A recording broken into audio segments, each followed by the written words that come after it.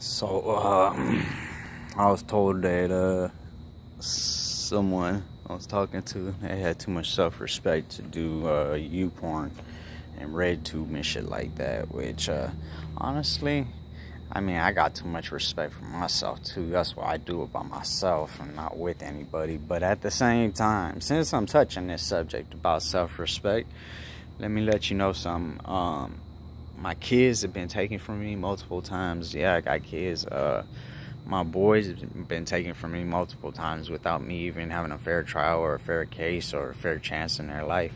Um, my daughters, they've been taken from me. Um, one of them got taken from me not by choice, and the other one got taken from me not by choice too.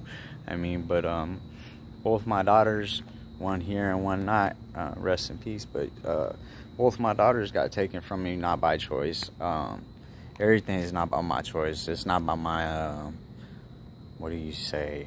Uh, it's not by a fair trial. It's not fair. It's not um, by um, anything about that situation was okay or fair. I didn't get a fair chance. So when uh, you say you got too much respect, uh, self-respect, go on to um, making those kind of videos or whatever.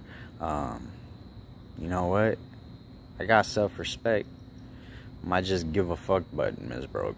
Cause um honestly everything I gave a fuck about was my kids. That was the whole reason uh I I fucking tried, you know? So the only only reason I really gave a fuck is because of my kids. But uh, since they're not around, I mean I really don't gotta give a fuck button, honestly.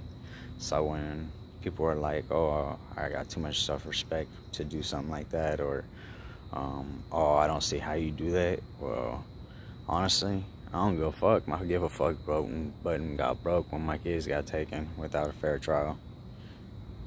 So, give a fuck button broke.